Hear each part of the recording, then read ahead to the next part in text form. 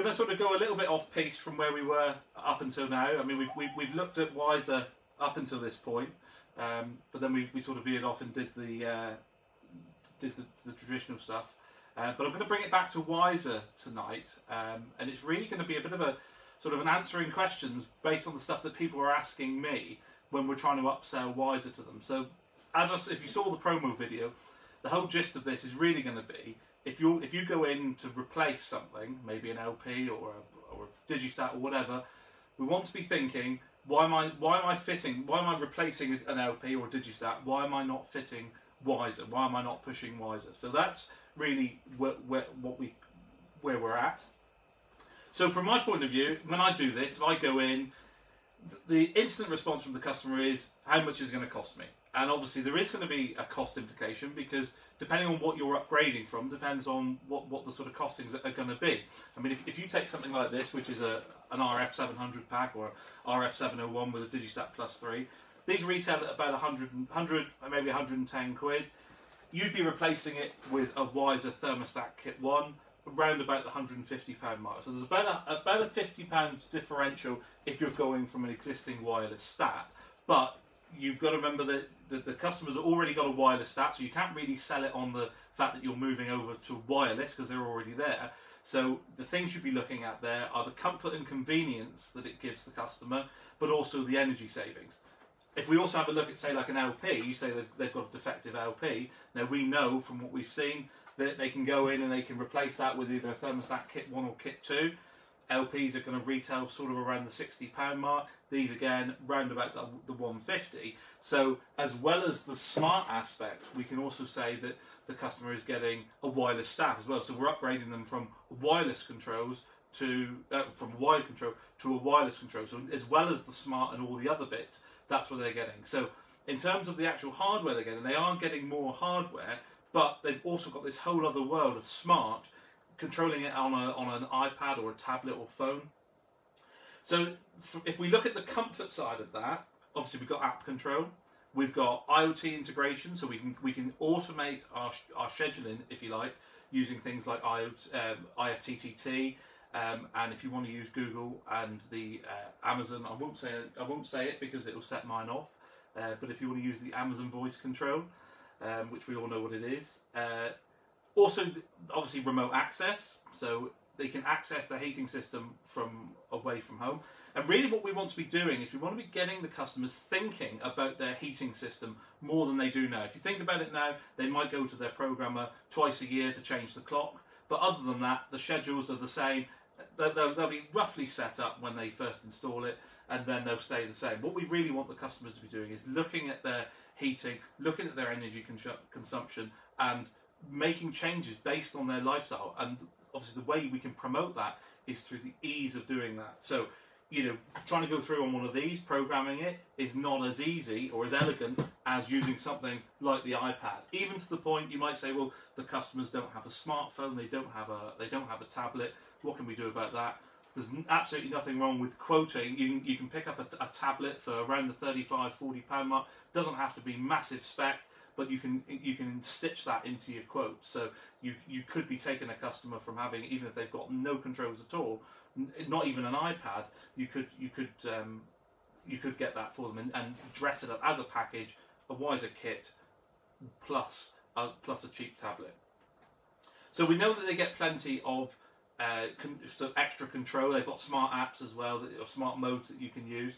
But really the energy savings is what we want to major on because this is really where you get your payback. So we've already said that these controls will cost more than if you go for the traditional equivalent, but this is where you can sort of claw back some of the savings. So the, the figures are if you've got no controls at all, so if the customer is just controlling their boiler through on off on the boiler, if you move them to a, to a, a, a traditional control, it's around about a 50% saving if you then add on a smart control, so if you so if you go from uh, tr- traditional controls to smart, it's around about an extra 10% saving. So that's going from something like an LP to a wiser thermostat kit one or two, depending on what the what the flavour is. So around about a 10% saving is what you'll make. Now we've, we've you've all seen these before the, the smart radiator thermostats for the multi-zoning. If you go down this route, obviously there's more hardware, there's more cost, but your saving can be around about 18%, and that's that's official figures that we've got from BEAMA using multi-zoning. So you can see that by multi-zoning, going in, shutting off rooms when you don't want to heat them, and only heating the rooms that you do, but obviously without the massive upheaval of having to cut pipes and dig up floorboards, you're going to get around about an 18% saving if you go uh, if, if, you if you go down the multi-zoning route. It's 10% if you go with just the thermostat kit. So there's a good good saving to be made. You've also got smart mode, so you've got away mode, which if you haven't seen seen it before, that allows you to set the set a blanket temperature across all of your zones that you then toggle on and off if, if you leave the house, and that's the one that you can integrate with IFTTT. So if you if you move away from a geographical location, it will then drop the system into away mode. So if you can do that, round about 24% is the sort of likely saving uh, that you're going to make using away mode. If you use it effectively, and you actually, you know, when you leave, you do you do have it kick into away mode. So about 24%. And if we look at eco mode, which is the weather compensation side, there's about a 7% saving. So just briefly, eco mode is time, you, have got your, you've already got the intelligent bit where the, the, the, control will, will kick off before the end of the time period. What eco mode does, it just takes into consideration the weather conditions outside and it will it will move that off period. So you'll find as you get closer and closer to summer, the off period gets earlier and earlier each time until you get to the stage where your heating doesn't come on. So the more that you can automate the system, and that's what this control will allow you to do, the the better the savings you're going to get. And it may only be sort of incremental each day. You think, well, you know, I'm saving a minute of gas, but obviously over a, over a, over the period of a year, that's where it that's where it starts to add up. Now that's all that all sounds very well, but the you know, from the customer's point of view, they can't really see it. But that's why, if you have a look at our app, we've now got the Insights pane and we've also got the heat report. So Insights is a bit like your smart meter readout, so the customer can see exactly what they're spending and how many what they're using in terms of boiler hours with their with their current setup. If they make changes to their schedule or they use any of the smart modes, you'll be able to see they'll be able to see how that makes a change on Insight. And then if you want to get into the real granular detail, we've got the home heat report. So you're able to you're able to go in and you can graphically see what you're using, what what and when you're using, and that's where, where we can really encourage the customers to really look and analyze their lifestyle and say, well, look, were you actually at home then? Did you really need it at 21 degrees? Could you have got away with 20? And again, chopping bits off here and there doesn't sound much, but cumulatively it starts to add up. So from the customer's point of view, from their from their question, what is it going to cost me? It is going to cost them some more money, but this is how they can start to claw it back. And obviously, the, the longer you have the control in use, the more you'll be, you, the more you'll start to benefit from the payback from the energy saving. So that's what they that's what they get for the extra money. From your from the installer's perspective, why you might want to do it. We've talked before about the ease of control. So we, we know it's on the industry standard backplate, and as long as you pick the kit of the appropriate flavour, you'll be you'll be able to just clip it on the backplate.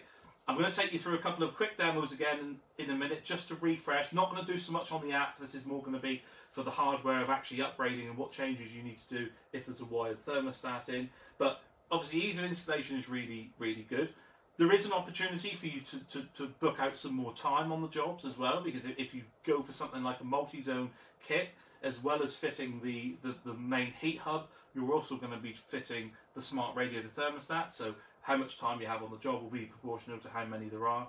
I would leave yourself a little bit more time because again you've got a bit of app work to do.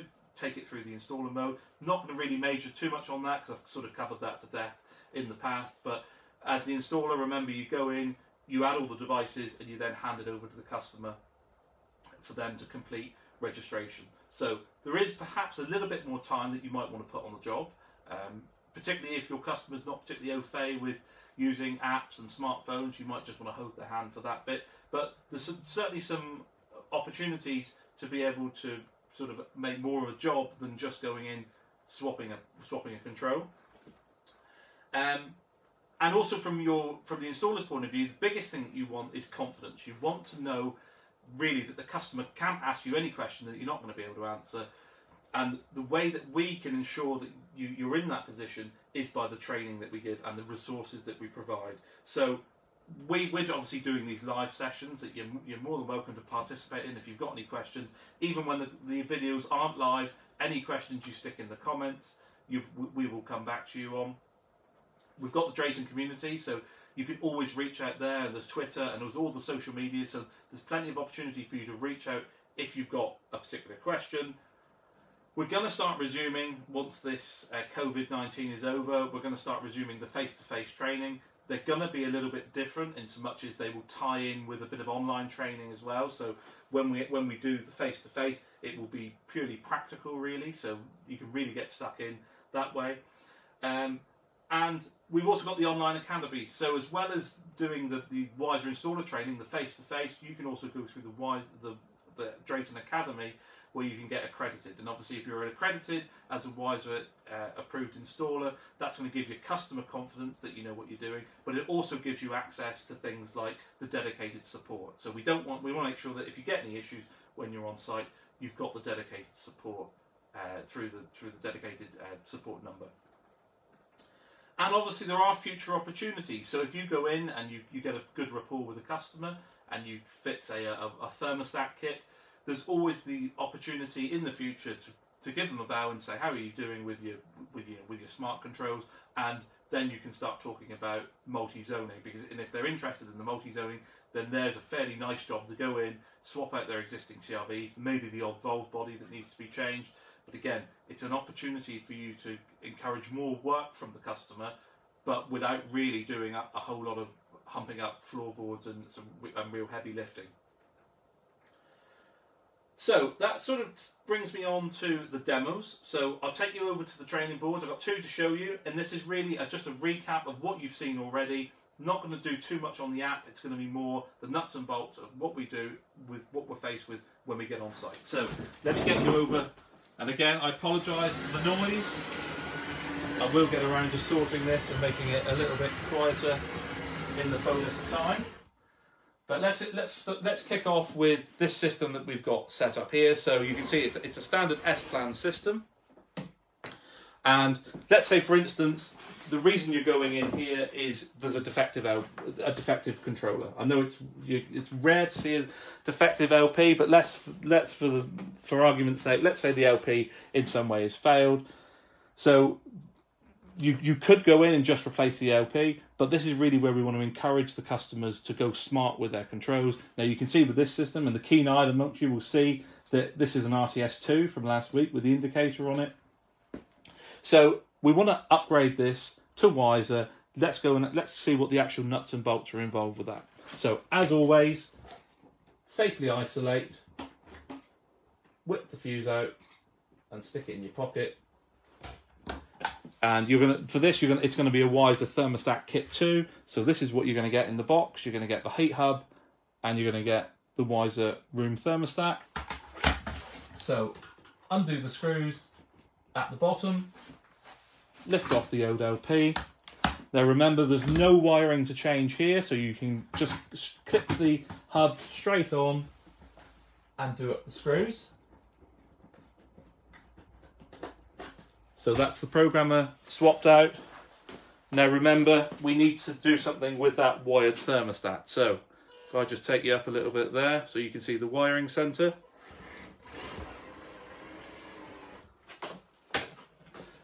Remember in here, we need to identify the thermostat wires, which we should be able to see are on terminals two and three.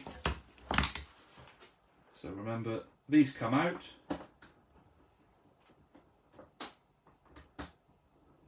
And in the real world, you would be these you would be probably removing these completely, but we'll just stick them into dead terminals. We'll have another go at that one in a minute.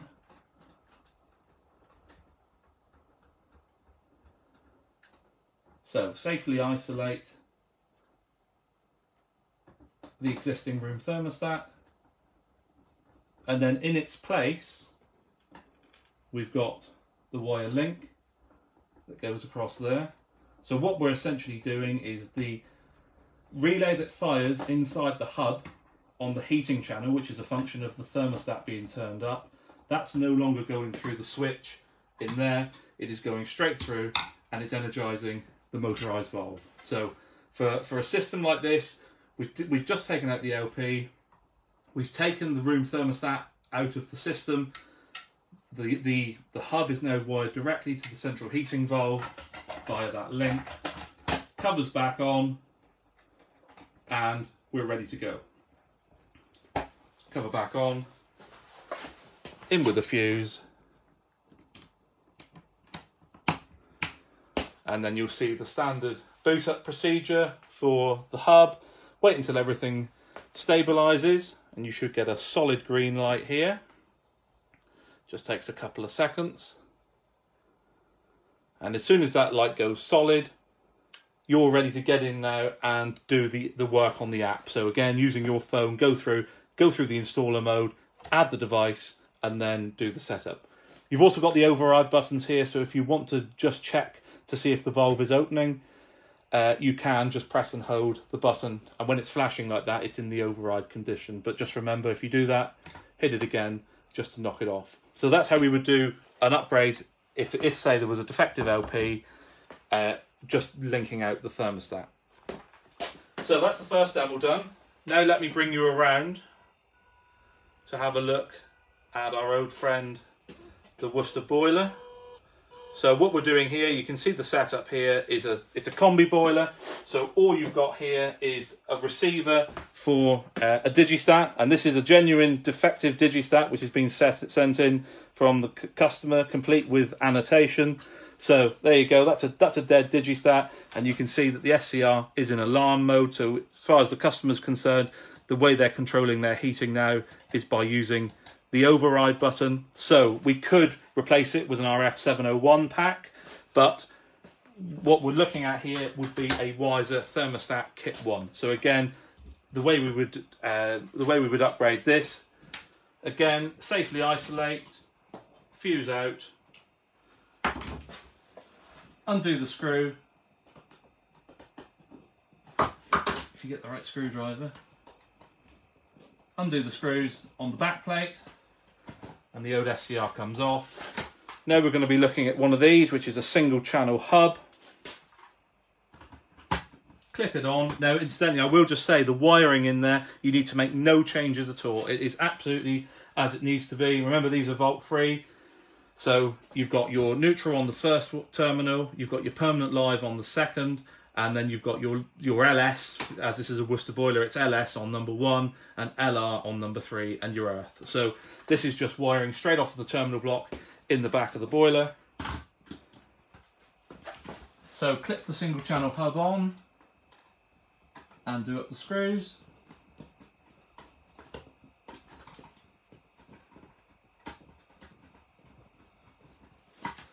And then again, let's energise it.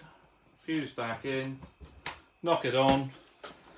Again, wait for it to, to come back on. You can see you get the long lights on there that while it's while it's booting. We're waiting for the setup light to go solid green, which it will do in a couple of seconds. There it is. So now you're ready to go in on your app and do the installer journey as you would have done with that two channel. And again, you've got the heating override. So if you want to, you can just test to see uh, if that's going to work. Obviously, this boiler here is not well because most of it is missing, so we're not we're never going to get it to fire. But that's that. Okay, so that's it in terms of demoing. So let me bring you back out. If I remember how to drive this.